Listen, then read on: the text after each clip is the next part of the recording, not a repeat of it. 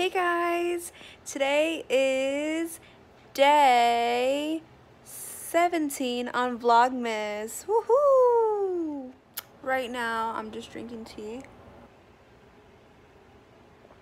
And I feel so peaceful right now. Like, it just feels so good right now. Good temperature, everything. Yeah. So I just baked some chocolate chip cookies right here.